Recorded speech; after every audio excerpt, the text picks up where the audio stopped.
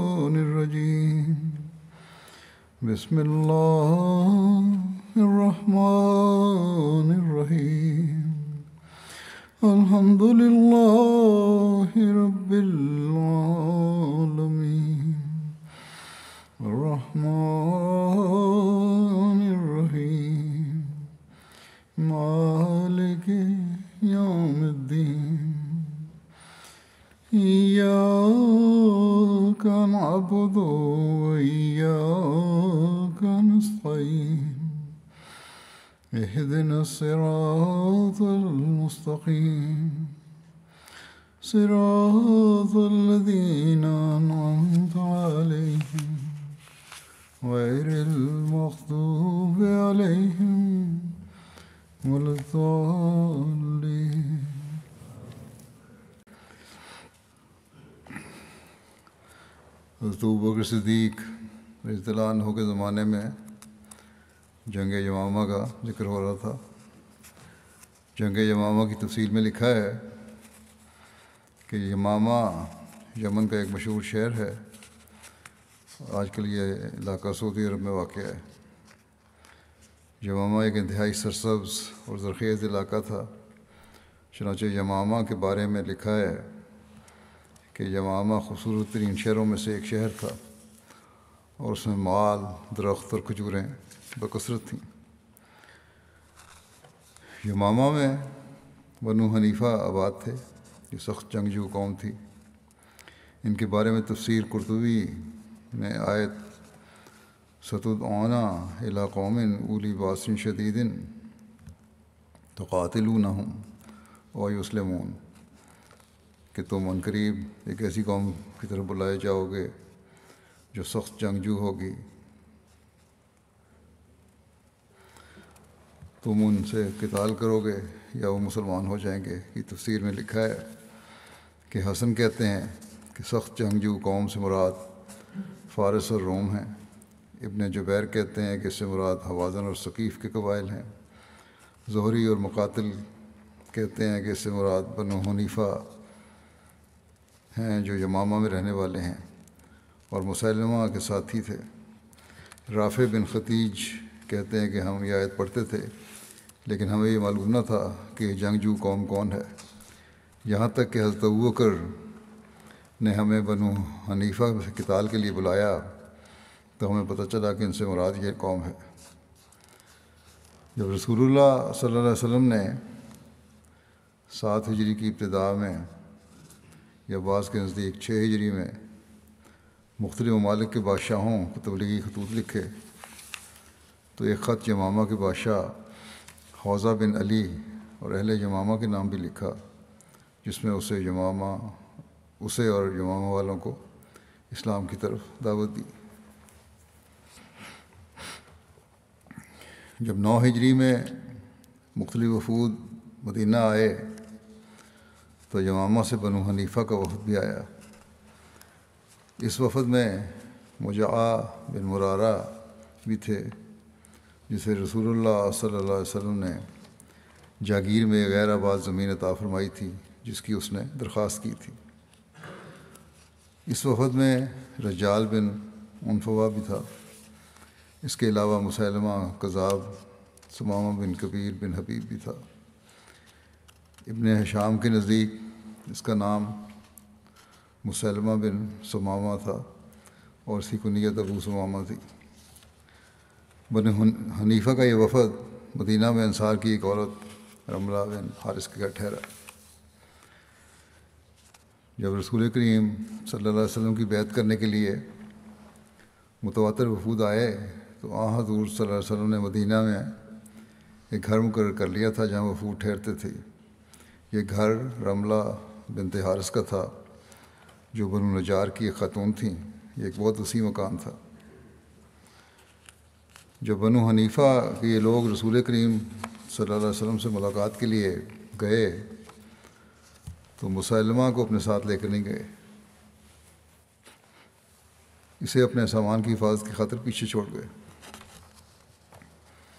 जब इन्होंने इस्लाम कबूल कर लिया तो उन्होंने मुसलमा के बारे में ज़िक्र किया और कहा, या रसूलुल्लाह, हम अपने एक साथी को पीछे अपने सामान और सवारियों के पास छोड़ आए हैं। वो हमारे लिए हमारे सामान की हिफाजत कर रहा है।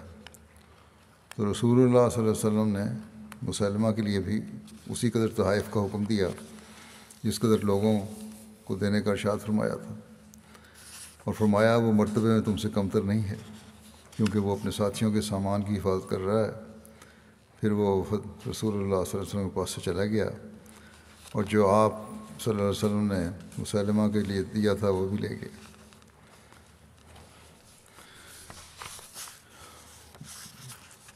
इस बयान करदा रवायत से मालूम होता है कि मुसलमा के अलावा बनु हनीफ़ा के वफद में मौजूद तमाम अफराद को रसूल करीम सल्लल्लाहु अलैहि वसल्लम से मुलाकात की अफराद की रसूल करीम सल्लल्लाहु अलैहि वसल्लम से मुलाकात हुई थी। मगर बाद रवायात ऐसी भी मिलती हैं, जिनमें मुसलमा की रसूल करीम वसल्लम मुलाकात का ज़िक्र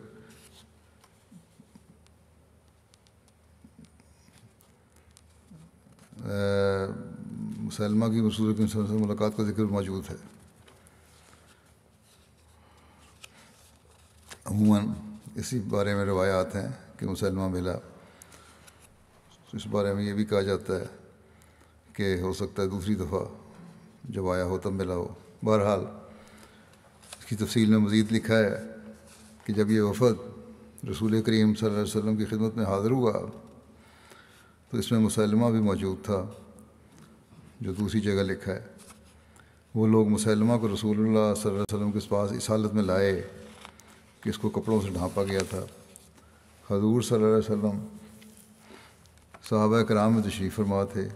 आपके हाथ में खजूर की एक शाख थी। मुसलमा ने आपसे गुफ्तु की और कुछ मुतालबात किए। आपने फरमाया, अगर तू मुझसे ये खजूर की शाख भी मांगे जो मेरे हाथ में है तो मैं वो भी तुझे नहीं दूँगा। सही बुखारी में मौजूद रवायात में से मालूम होता है कि मुसलमा रसूल करीम वसल्लम से मुलाकात के लिए नहीं गया था, बल्कि रसूल करीम वसल्लम ख़ुद उसके पास तशरीफ़ ले गए थे। चुनाचे उबैदुल्ला बिन अब्दुल्ला बिन उत्बा ने बयान किया कि हमें यह खबर पहुँची कि मुसलमा कज़ाब मदीना आया और हारिस की बेटी के घर में उतरा और हारिस बिन कुरैस की बेटी उसकी बीवी थी और वो अब्दुल्ला बिन आमिर की माँ थी। रसूलुल्लाह सल्लल्लाहु अलैहि वसल्लम पास आए और आप सल्लल्लाहु अलैहि वसल्लम के साथ हज़रत साबित बिन कैस बिन शमास थे और ये रसूलुल्लाह सल्लल्लाहु अलैहि के ख़तीब कहलाते थे। और रसूलुल्लाह सल्लल्लाहु अलैहि के हाथ में एक छड़ी थी। आप मुसलमा के पास खड़े हुए और उससे गुफ्तु की। मुसलमा ने आपसे कहा कि अगर आप चाहें तो हमें दरमियान, हमारे दरमियान दरमियान, इस मामले के दरमियान हमें छोड़ दें। फिर आप उसे अपने बात हमारे लिए मुकर कर दें। यानी नबूत का मामला जो है, इसका जो फ़ैसला हो या हमें मिल जाए, उसके बाद, आपके बाद। नबूत यही उसका मुतालबा था ज़्यादा बड़ा। तो नबी करीम वसल्लम ने फरमाया, अगर तुम मुझसे चीज़ छड़ी भी मांगो तो मैं तुम्हें यह नहीं दूँगा। और मैं तुझे वही शख्स समझता हूँ, जिसके बारे में मुझे ख्वाब दिखाई गई है, जो मुझे दिखाई गई। और ये साबित बिन कैस है, वो मेरी तरफ़ से तुम्हें जवाब देगा। फिर नबी सल्लल्लाहु अलैहि वसल्लम वापस शीफ ले गए।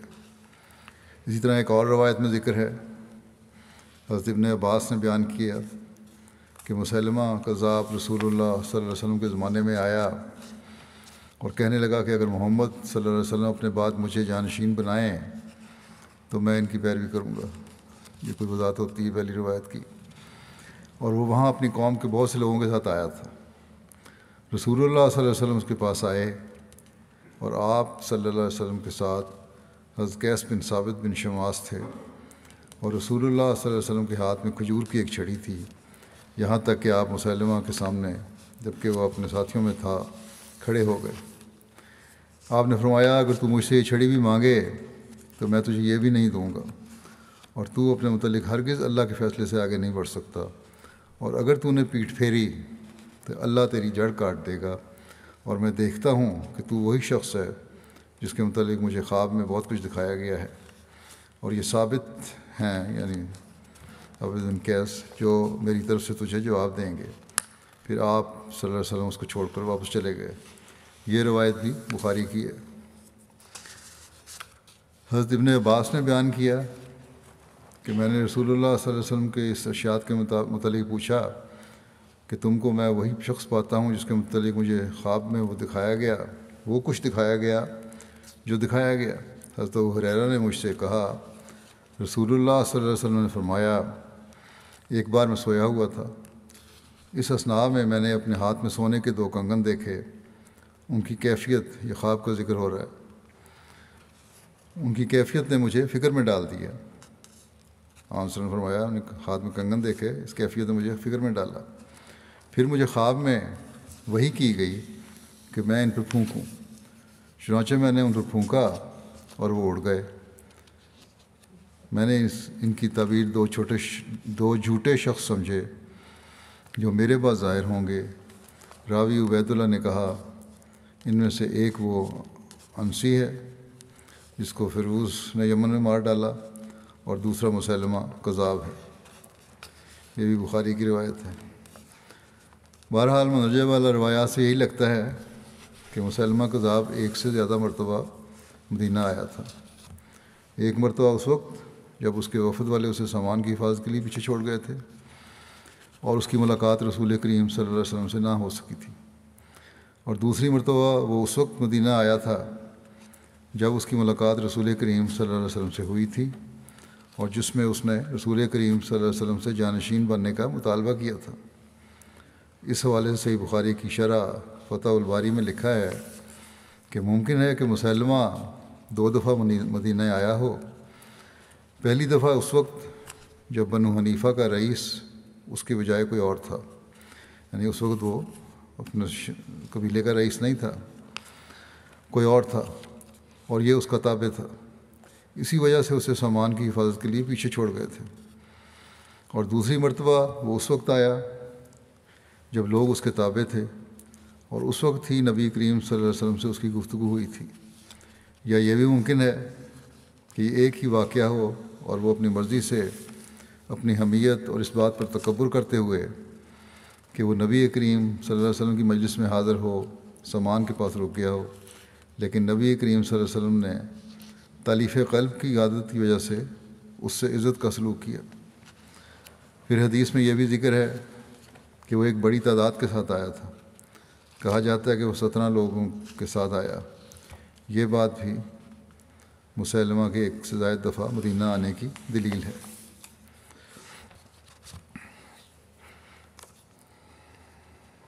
बहरहाल, जब ये वफद वापस जो मामा पहुँचा तो अल्लाह ताला का दुश्मन मुसलमा मुर्तद हो गया और उसने नबूवत का दावा कर दिया और कहा मुझे भी आप सल्लल्लाहु अलैहि वसल्लम के साथ नबूवत में शरीक कर लिया गया है। क्या जब तुमने रसूलुल्लाह के पास मेरा ज़िक्र किया था तो उन्होंने ये नहीं कहा था कि वो मकान और मरतबा में, मरतबा के अतबार से तुमसे बुरा नहीं है? आप सल्लल्लाहु अलैहि वसल्लम ने ये इसलिए, सिर्फ़ इसलिए कहा था कि आप जानते थे कि आ हजूर सल्लल्लाहु अलैहि वसल्लम नबी हैं और बनु हनैफा ने जानते थे कि मुझे भी आपके मामले में शरीक कर लिया गया है। फिर मुसलमा बनावट करके कलाम बनाने लगा और लोगों के लिए कुरान करीम की नकल करते हुए कलाम बनाने लगा और उनसे नमाज़ माफ़ कर दी। उसने अपना ही शरीत शुरू कर दी, नमाज़ माफ़ कर दी। एक रिवायत के मुताबिक उसने दो नमाज़ें नमाज़ ईशा और फजर माफ़ कर दी थी। और लोगों के लिए शराब और जना को हलाल करार दे दिया। इसके साथ वो ये भी गवाही देता कि आ हजूर सल्लल्लाहु वसल्लम नबी हैं, बनु हनीफ़ा ने इन बातों पर इससे इतफ़ाक़ कर लिया। एक और सबब जिसने मुसलमा की ताकत बढ़ाई, वो था रजाल बिन उनफवा का इससे मिल जाना। बड़ी होशियारी से इसने ये भी तस्लीम किया, एक तो ये आसानियाँ पैदा कर दी, कि शरीयत में यही आसानी है और मुझे भी अल्लाह ताला ने वही की है। और साथ ये भी तस्लीम करता था कि हाँ हजूर सल्लल्लाहु अलैहि वसल्लम नबी भी हैं, ताकि जो लोग मुसलमान हुए थे, उनमें कोई ये एहसास पैदा ना हो कि हमें रसल से दूर लेके जा रहा है। बड़ी मुनाफ्त से उसने ये सारे काम किए। बहरहाल, लिखा है कि एक और सबब जिसने मुसलमा की ताकत बढ़ाई, वो था रजाल बिन उनफवा का इससे मिल जाना। ये शख्स भी यमामा का ही रहने वाला था और बनु हनीफ़ा के वफद के साथ भी आया था। हिजरत करके नबी करीम सल्लल्लाहु अलैहि के पास मदीना आ गया था यहाँ इसने कुरान करीम पढ़ा और दिनी तालीम हासिल की। जब मुसलमा ने इतदाद इख्तियार कर लिया तो नबी करीम सल्लल्लाहु अलैहि वसल्लम ने उसे अहल यमामा की तरफ़ मौलम बनाकर भेजा और लोगों को मुसलमा की इतात से रोकने के लिए भेजा। लेकिन ये मुसलमा से ज़्यादा फितने का बायस हुआ। जब इसने देखा कि लोग मुसलमा की इतात कबूल करते जा रहे हैं तो वो उन लोगों की नज़रों में अपने आप को सुरखरू करने के लिए उनके साथ मिल गया। भेजा तो इसलिए गया था ताकि वहाँ असलाह करे और फितने का तदारक करे, लेकिन ये मुसलमा के साथ शामिल हो गया। और मुसलमा की नबूत का झूठा इकरार करने के साथ साथ रसूलुल्लाह सल्लल्लाहु अलैहि की जानब से एक झूठा कॉल भी मंसूब किया। कि मुसलमा रसूल करीम सल्लल्लाहु अलैहि वसल्लम के साथ नबूत में शरीक किया गया है। ये भी उसने मशहूर कर दिया। कुरान करीम का इल्म हासिल किया था, इसलिए लोगों ने उसकी बातों पर यकीन भी कर लिया। जब अहले यमामा ने देखा कि एक ऐसा शख्स मुसलमा की नबूत की गवाही दे रहा है, जो कि रसूलुल्लाह सल्लल्लाहु अलैहि वसल्लम के साथियों में से है, और वो लोगों को कुरान करीम की तालीम से आगाह करने वाला है तो इन लोगों के लिए मुसलमा की नबूत से इनकार की गुंजाइश ना रही। और लोग जौक तर जौक मुसलमा के पास आकर उसकी बैत करने लगे। मुसलमा ने रसूलुल्लाह सल्लल्लाहु अलैहि वसल्लम की तरफ़ एक ख़त भी लिखा, जिसका मतन इस तरह से है कि अल्लाह के रसूल मुसलमा की जानब से मोहम्मद रसूलुल्लाह की तरफ़ अम्माबाद निसफ ज़मीन हमारी है और निसफ क्रैश की। मगर क्रैश इंसाफ नहीं करते। इसके जवाब में रसूलुल्लाह सल्लल्लाहु अलैहि वसल्लम से ख़त लिखा कि बिस्मिल्लाहिर्रहमानिर्रहीम, मोहम्मद नबी सल्लल्लाहु अलैहि वसल्लम की जानब से मुसलमा कज़ाब के नाम। अम्मा बाद यकीनन ज़मीन अल्लाह ही की है। वो अपने बंदों में से जिसे चाहेगा उसका वारिस बना देगा और आकबत मुतकियों की ही हुआ करती है और इस पर सलामती हो जो हदायत की पैरवी करे।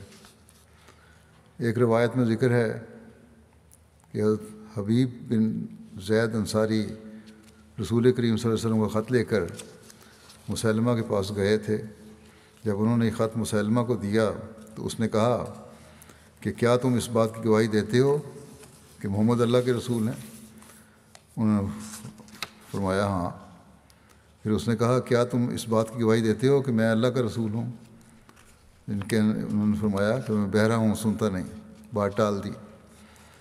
मुसलमान बार बार यही सवाल दोहराता रहा, आप वही जवाब देते रहे। और हर मरतबा जब हज़रत हबीब उसके मंशा का जवाब ना देते, वो ये चाहता था कि वो तस्लीम करेंगे, वो भी नबी है। जब मंशा का जवाब ना मिलता तो वो उनके जिसम का एक उज्व काट देता। टॉर्चर करने के लिए कि अब जवाब हाँ में दो, वो कोई ना कोई उज़व काट देता उनका। हज़रत हबीब सब्र इस्तकामत का पहाड़ बने रहे। यहाँ तक कि उसने आपके टुकड़े टुकड़े कर डाले। इसके उसके सामने हज़रत हबीब ने जाम शहादत नोश कर लिया। मुसलमा ने यमामा में अलम बगावत बुलंद कर दिया था। अभी सिर्फ़ नबूत का दावा नहीं है, बल्कि जुल्म भी है। किस तरह उसने अपने आप को नबी ना मानने वालों से सलूक किया। मुसलमा ने यमामा में अलम बगावत बुलंद कर दिया।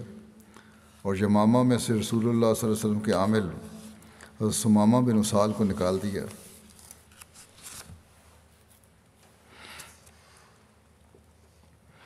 जब नबी करीम सल्लल्लाहु अलैहि वसल्लम की वफ़ात हो गई और बकर ने मुर्तदीन की तरफ़ मुख्तलिफ़ लश्कर भेजे तो हज़रत इक्रमा की सरकर्दगी में एक लश्कर मुसलमा की तरफ़ भी भेजा। और उनकी मदद के लिए उनके पीछे हज़रत शराबील बिन हसना को रवाना फरमाया। हज़रत अबू बकर ने हज़रत इक्रमा को यह तकीद फरमाई कि शराबील के पहुँचने से पहले मुसलमा से लड़ाई न छेड़ना। मगर हज़रत इक्रमा ने जल्दबाजी से काम लिया और हज़रत शराबील के पहुँचने से पहले ही एल यमामा पर हमला कर दिया ताकि कामयाबी का सहरा उनके सर आए। मगर वो मुसीबत में फंस गए और उन्हें शिकस्त का सामना करना पड़ा। मुसलमा की फ़ौज बहुत बड़ी थी। शराबील को जब इस वाक़े की खबर मिली तो वो रास्ते में ही रुक गए और हज़रत इकरमा ने हज़रत बकर की तरफ़ से तरफ़ इस वाक़े के मतलब लिखा। तो हज़रत बकर ने उनको लिखा कि मैं तुम्हारी सूरत नहीं देखूँगा और ना तुम मुझे देखना। उन्हें हदायत की नाफरमानी की है जो मैंने तुम्हें कहा था। यहाँ लौट कर मत आना। मवादा लोगों में मुजली पैदा हो। तुम हज़रत सुदैफ़ा और अरफजा के पास चले जाओ और उनके साथ मिलकर ओमान और महारा वालों से जंग करो। महारा भी अरब के जनूब में मशरक़ी साल पर बैर हिंद के किनारे एक इलाका है। और फिर वहाँ पहुँच, वहाँ से अपनी फ़ौज के हमरा यमन और हदर मौत में जाना वहाँ जाकर इस्लामी लश्कर से जा मिलना हजर मौत भी यमन के मशरक़ में एक ममलिकत है, जिनकी जनूबी सरहद पर समंदर है। एक और रवायत में हज़रत बकर के ख़त के अल्फाज इस तरह से मिलते हैं कि, उस्तादी, जानते नहीं शकीरी से घबराते हो। इतना तुम्हें पता नहीं, सही तरह जंगों के जो तरीके सलीके होते हैं, जो माहिर होना चाहिए जितना, उतने हो नहीं तुम। और सीखने से घबराते हो। जिस दिन तुम मुझे मिलोगे, देखो तुम्हें तुम्हारे से कैसा सलूक करता हूँ। तुम उस वक्त तक क्यों ना ठहरे कि शराबील आ जाते और उनकी मदद और तावन से जंग करते? अब हुजैफ़ा के पास जाओ और मदद पहुँचाओ। और तुमने खिलाफ खलीफा वक्त के हुक्म की नाफरमानी की है और अपने आप को बड़ा उस्ताद समझते हो और सीखना नहीं चाहते। अब यही है कि मेरे पास ना आना। जब मिलोगे तो फिर मैं देखूँगा तुम्हारे सलूक क्या करना है। लेकिन बहरहाल, फ़िलहाल अब तुम्हारा यही है कि तुम हुजैफ़ा के पास जाओ और उनकी मदद करो, उनके साथ मिलकर। जो जिस मुहिम को सर करने के लिए भेजे गए हैं, उसका मदद करो उनकी।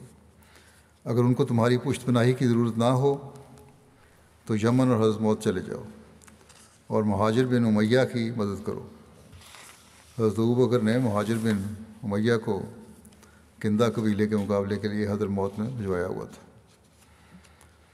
हज़रत बकर ने हज़रत शराबील को किसी दूसरे हुक्म के आने तक वहीं ठहरने का हुक्म दिया। फिर हज़रत खालिद बिन वलीद को यमामा की तरफ़ भेजने से पहले शराबील को लिखा कि जब खालिद तुम्हारे पास आएँ और यमामा की मदद से फ़ारग हो जाओ तो खुदा आकर रुख करना और हज़रत अमर बिन आस के साथ होकर खुदा के उन बागियों की खबर लेना, जो इस्लाम लाने से इनकार करें और उनकी मुखालफत में कमर बस्ता हूँ और उसकी मुखालफत पर कमर बस्ता हूँ। सिर्फ़ इनकार नहीं है, बल्कि मुखालफत भी है। हज़रत शराबील ने भी हज़रत बकर की हदायत के बरक्स हज़रत इक्रमा की तरह जल्दबाजी से काम लिया और हज़रत खालिद के उन तक पहुँचने से पहले ही मुसलमा से लड़ाई शुरू कर दी। मगर उन्हें भी शिकस्त का सामना करना पड़ा, जिस पर हज़रत खालिद ने उनसे नाराज़गी का इजहार फरमाया। हज़रत बकर ने हज़रत खालिद की मदद के लिए हज़रत सलीद की क़्यादत में मज़ीद कुमक भी रवाना फरमाई, ताकि वो इनके अकब की हिफाजत करें। हज़रत बकर ने हज़रत खालिद को मुसलमा की तरफ़ भेजा। और उनके साथ मिलकर जंग करने के लिए महाजरीन और अंसार की एक जमात भी रवाना फरमाई। हज़रत बकर ने अंसार पर हज़रत साबित बिन कैस और महाजरीन पर हज़रत हुजैफ़ा, अबू हुजैफ़ा और जैद बिन ख़ताब को अमीर मुकर फरमाया। और इस तरह जितने कबाइल थे, इनमें से हर कबीले पर एक आदमी को निगरान बनाया। हज़रत खालिद बुताह मुकाम पर इस लश्कर की आमद का इंतज़ार कर रहे थे। बुता, बनी ज़मीन के इलाके में एक जगह है। बहरहाल जब ये सब हज़रत खालिद के पास पहुँच गए तो यमामा की तरफ़ रवाना हुए। बनु हनीफ़ा उस दिन बहुत ज़्यादा थे। उनकी तादाद चालीस हज़ार जंगजुओं पर मुश्तमिल थी। जब यमामा के लोग, जो मुसलमा के साथ थे, इनकी तादाद चालीस हज़ार थी। एक रवायत के मुताबिक इनकी तादाद एक लाख या इससे भी ज़्यादा थी। जबकि मुसलमान दस हज़ार से जायद थे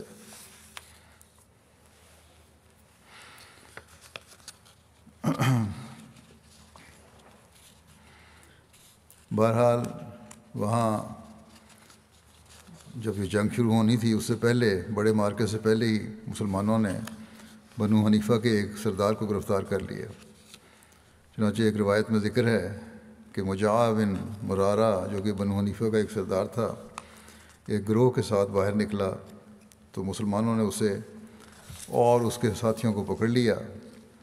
हज़रत खालिद ने उसके साथियों को कत्ल कर दिया और मुजा को ज़िंदा रखा, क्योंकि बनु हनीफ़ा भी उसकी बहुत में उसकी बहुत इज़्ज़त थी।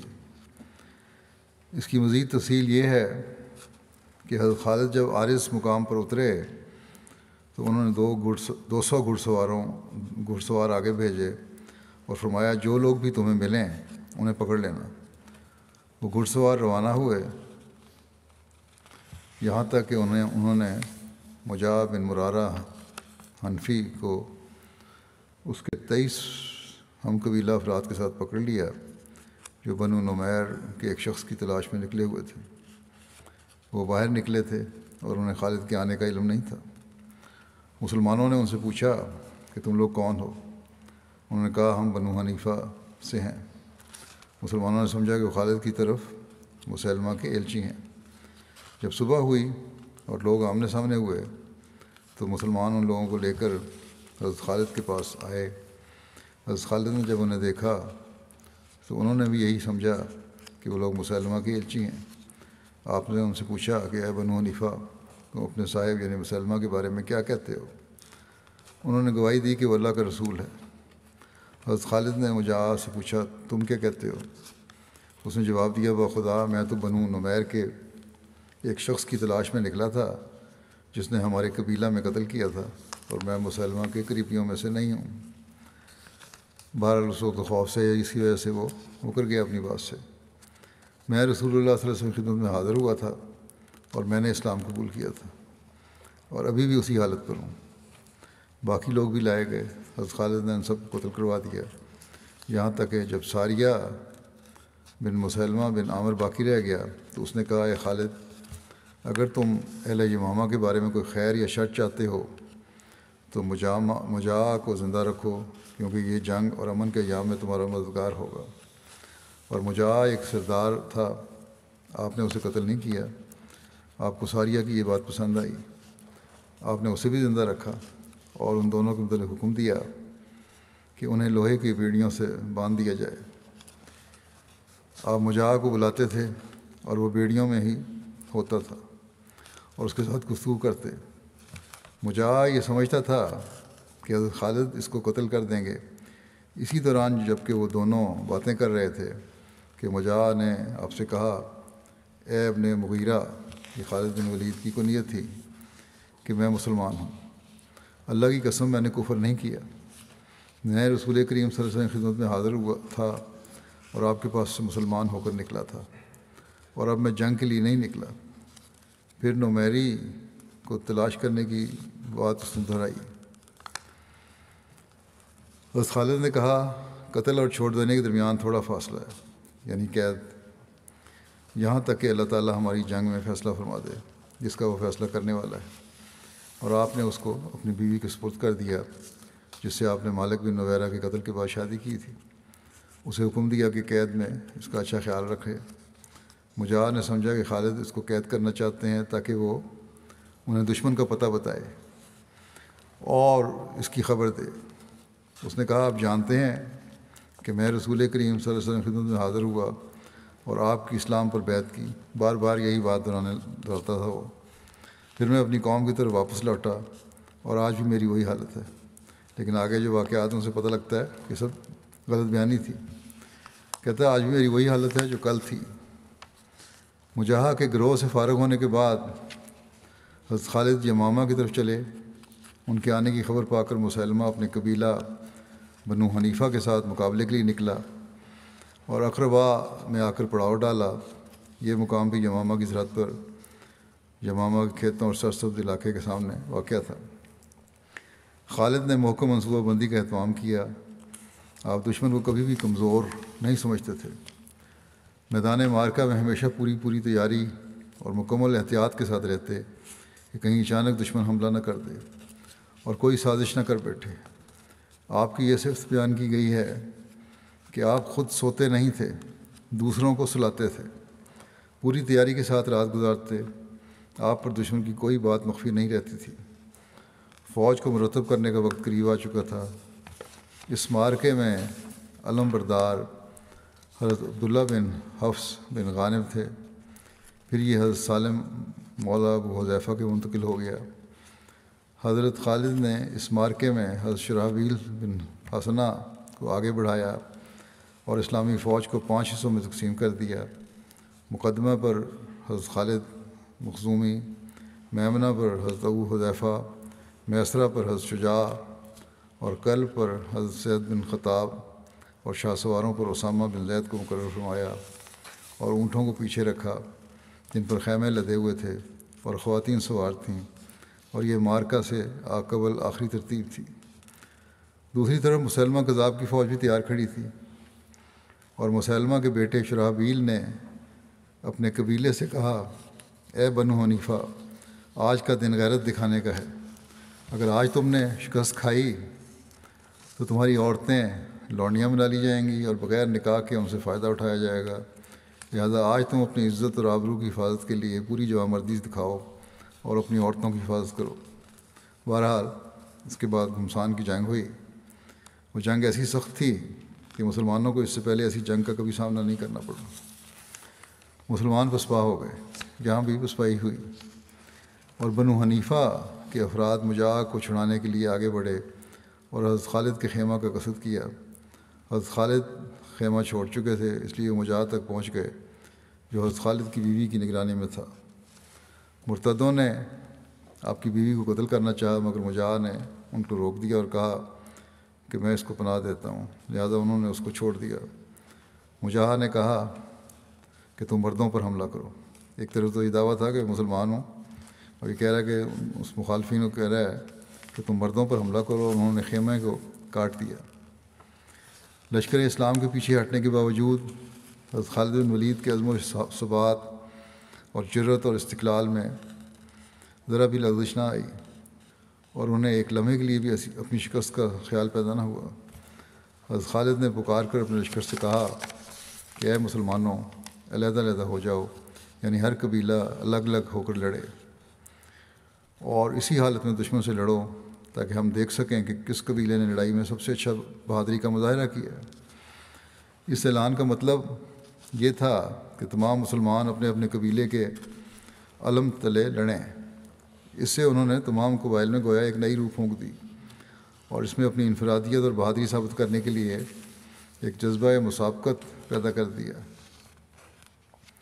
मुसलमानों ने भी एक दूसरे को तरगीब दिलाई, चुनाचे उसकी मज़ीद तफसीर इस तरह मिलती है कि हज़रत साबित बिन कैस ने कहा, ए मुसलमानों के ग्रोह कितनी बुरी है वो चीज़ जिसका तुमने ख़ुद को आदि बना दिया है। अगर आसानी का आदि बनाया तो बहुत बुरी चीज़ है ये। साहबा कराम एक दूसरे को जंग पर उभारने लगे और कहने लगे कि, ए सूरह बकरा वालों, आज जादू टूट गया। हज़रत साबित बिन कैस ने आधी पिंडलियों तक ज़मीन खोद ली और अपने आप को उसमें गाड़ लिया। आप अंसार का परचम उठाए हुए थे और आपने हनूत मल लिया था। अरब में ये दस्तूर था कि बाज़ लोग जो अपने आप को बहुत बहादुर दिखाना चाहते थे, वो ऐसा किया करते थे। गोया ये ज़ाहिर कर रहे हैं कि वो काम जो मरने के बाद लोगों ने मेरे साथ करना था, वो मैंने खुद अपने साथ कर लिया है। आधा ज़मीन में गाड़ लिया। गोया मैं मरने को तैयार हूँ और हनूत जो है वो चंद खुशबूदार चीज़ों का एक मरकब था, जो को मुर्दे को गसल देने के बाद मलते हैं। या वो दवाएँ जिन्हें लाश पर लगाने से मुद्दतों गलने सड़ने से महफूज रहती हैं। बहरहाल, कहते रवायत है कि उन्होंने कफन बाँध लिया और दुश्मन के मुकाबले में साबित कदम रहे। यहाँ तक कि जाम शहादत नोश किया। ये उसकी तफसील अभी मज़ीद है। इन आइंदा ज़िक्र होगा। इस वक्त मैं बाज़ मरहूमिन का ज़िक्र करना चाहता हूँ। पहले तो सबसे पहले एक शहीद का ज़िक्र है, जिन्हें गुजशत दिनों शहीद किया गया अब्दुलसलाम साहिब इबन मास्टर मुनवर अहमद साहिब, सदर जमात एल प्लाट उकाड़ा। उनको सत्रह मई को शहीद किया गया था। पैंतीस साल इनकी उम्र थी। एक मानद अहमियत ने खंजर से वार करके आपको शहीद किया। इन्ना लाए व इन्ना लहराज तफसीत के मुताबिक अब्दुलसलाम साहब, अपने दो छोटे बच्चों अजीज़म कमर कमर कमर इस्लाम, जिसकी उम्र छः साल थी, और अजीज़म बदरस्लाम उम्र चार साल,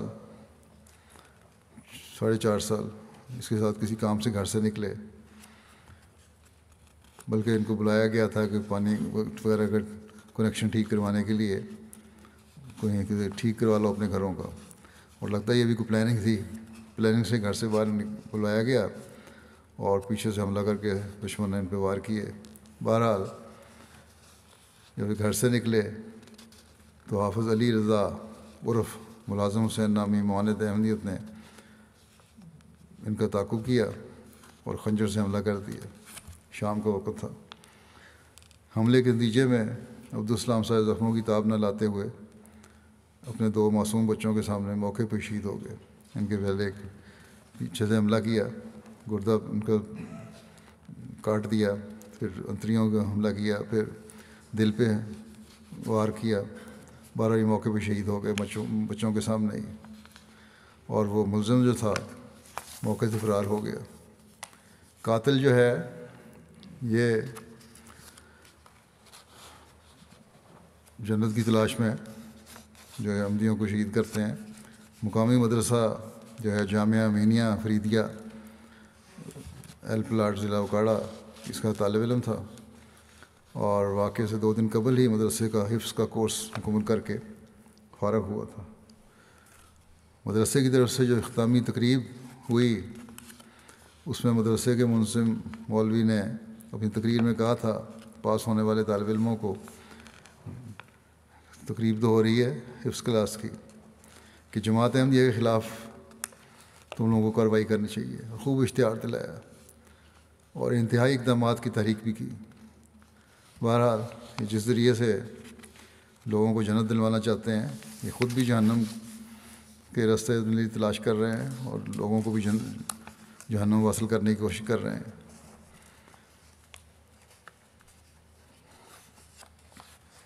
शहीद मरहूम के ख़ानदान में अहमदीद का नफूस, शहीद मरहूम के परदादा हज़रत नबी बख्श साहब, जो हज़रत मसीम के सहाबी थे, के ज़रिए से हुआ।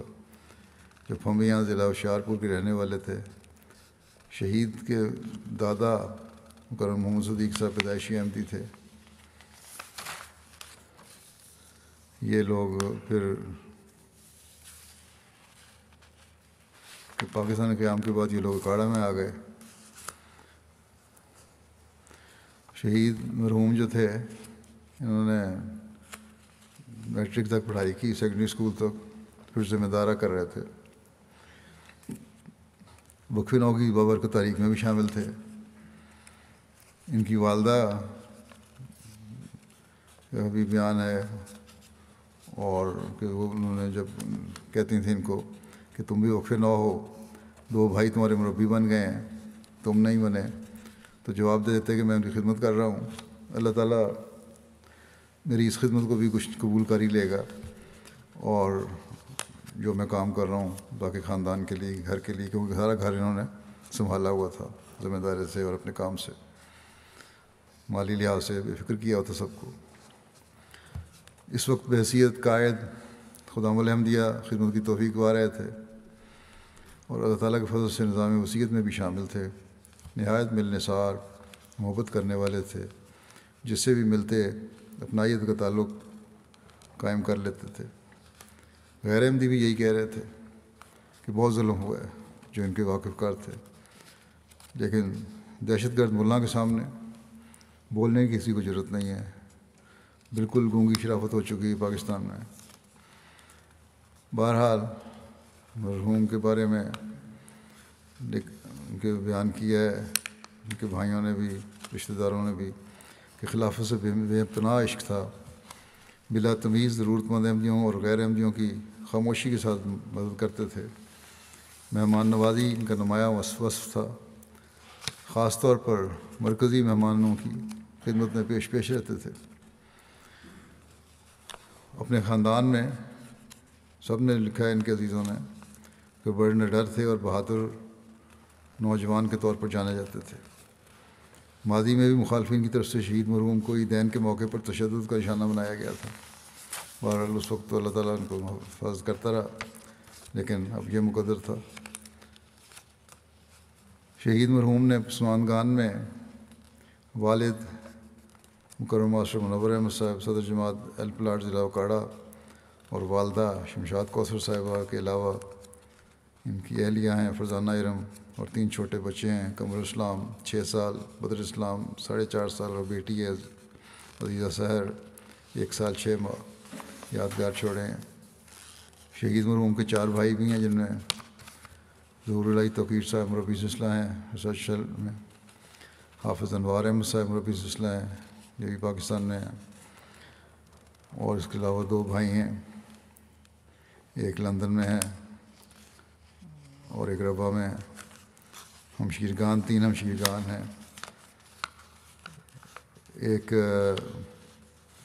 इनकी हमशीरा यहाँ यूके में मैनचेस्टर में है। निशान खालिद साहब की अहलियाँ हैं। फिर एक कोत में है और तीसरी भी लंदन में है। अल्लाह ताला शहीद मरहूम के दर्जात बुलंद फरमाए जन्नतफरदौस में अला मुकाम से नवाजे। इनके मरहूम शहीद के मासूम बच्चों एहलिया वालदेन और जुमला पसमानगान का खुद हामी नासर हो। मासूम बच्चों के सामने उनके बाप को शहीद किया गया था। उनकी क्या कैफियत होगी कैफियत होगी दिल की? क्या एहसास होंगे? अल्लाह ही जानता है। बड़ा बेटा जो इसके सामने हुआ छः साल का था, कुछ होश में वो बिल्कुल गुमसुम है, फ़िलहाल तो कहते हैं अल्लाह ताला ही है जिनको सब्र और सुकून अता फरमाए और अल्लाह ताला इन बच्चों की भी खुद हिफाजत फरमाए और दुश्मनों को कैफ़े किरदार तक मचाए दूसरा जो ज़िक्र है वो है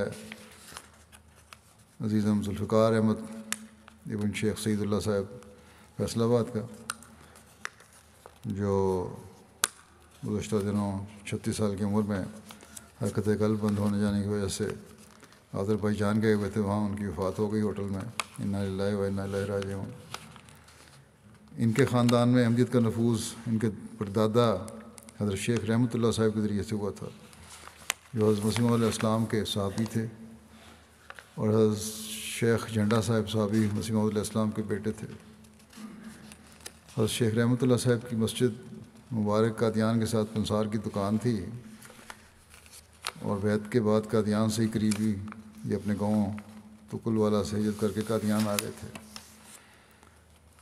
एक दफ़ा जिसने हज़रत मौलाना नूरुद्दीन साहब रजान हो खलीफा अवल को शिकायत के रंग में कहा कि मस्जिद करीब दुकान नहीं होनी चाहिए।